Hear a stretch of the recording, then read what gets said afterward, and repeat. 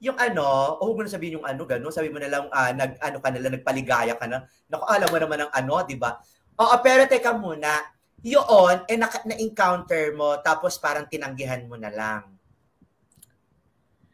Um, nung time kasi na yun is parang nakita ko lang siya eh. Kasi parang nag, nagbibiruan yun, so mga lasing na. Ganon. Tapos, nagpapakita na siya. Siyempre, lasing na siya. Nagpapakita na siya ng ano niya. So, doon ko nakita. Siyempre, alam nga try ko pa yon Nakita ko na eh. So, ano at least na.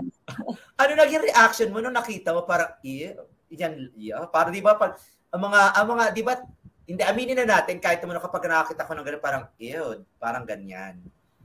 Parang ganon, kasi parang hindi tugma sa itsura niya yung size. So, ah, uh, okay.